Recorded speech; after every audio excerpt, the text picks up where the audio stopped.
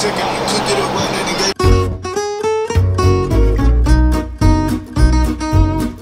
I would say I would usually start the Wednesday before third, uh, Turkey Day. Yes, actually. You have? I just did last No. No, it's all good. When did you start? weekend. Uh, my Christmas tree, my little white one, I Okay. did it this weekend. Okay. Nope. No? I'll probably start next week. Next week. I start right after Thanksgiving. I start putting the Christmas decorations up right after Thanksgiving. Uh, no, we've not started decorating for Christmas yet. Oh yeah. When you guys start? Probably after Thanksgiving is the usual. No, we have not started. When do you start?